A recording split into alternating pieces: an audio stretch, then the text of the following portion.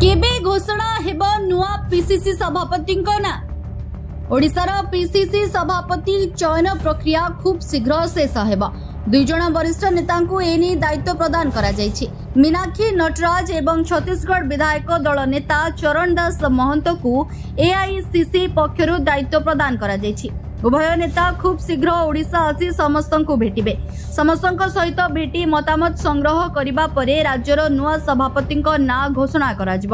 November ମଧ୍ୟ ଭାଗ ସୁଦ୍ଧା ସଭାପତିଙ୍କ ନାଁ ଘୋଷଣା ହୋଇଯିବ ବୋଲି ଓଡ଼ିଶା ସ୍କ୍ରିନିଂ କମିଟି ଅଧ୍ୟକ୍ଷ ଅଜୟ କୁମାର କହିଛନ୍ତି।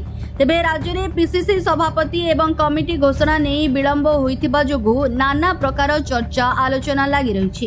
ଏହାକୁ ଦୃଷ୍ଟିରେ ରଖି ଏଆଇସିସି ପକ୍ଷରୁ ଗୁରୁବାର ଛତିଶଗଡ଼ କଂଗ୍ରେସର ବିଧାୟକ ଦଳ ନେତା ଚରଣ ଦାସ ମହନ୍ତଙ୍କୁ ଓଡ଼ିଶା ସଭାପତି ଚୟନ ନେଇ ଦାୟିତ୍ୱ ପ୍ରଦାନ କରାଯାଇଛି ତେବେ ପିସିସି ସଭାପତି ଚୟନରୁ ନେଇ ମହମ୍ମଦ ମୋକିମ କହିଛନ୍ତି ବିଗତ ଦିନରେ ଓଡ଼ିଶାରେ କଂଗ୍ରେସ ଭଲ କରିପାରିନଥିଲା ଯେଉଁଥିଲାଗି କେନ୍ଦ୍ରୀୟ ନେତୃତ୍ୱ ଚିନ୍ତା ବ୍ୟକ୍ତ କରିଥିଲେ ଏଥିଲାଗି ପିସିସି କମିଟିକୁ ଭାଙ୍ଗି ଦେଇଥିଲେ ଓଡ଼ିଶାରେ ନୂଆ ମଙ୍ଗୁଆଳ ଚୟନ ପାଇଁ ଏକ ଷ୍ଟିଅରିଂ କମିଟି ଗଠନ ହୋଇଛି କମିଟି ବିଭିନ୍ନ ପର୍ଯ୍ୟାୟରେ ଓଡ଼ିଶାରେ ନେତାଙ୍କ ସହିତ ଆଲୋଚନା କରୁଛନ୍ତି।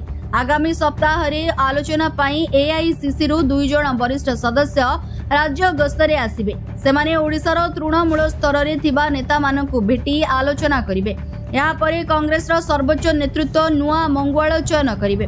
ସେ ସାଧାରଣ ଲୋକଙ୍କ ପାଇଁ କାମ କରୁଥିବେ ସେପରି ବ୍ୟକ୍ତିକୁ ଚୟନ କରାଯିବ।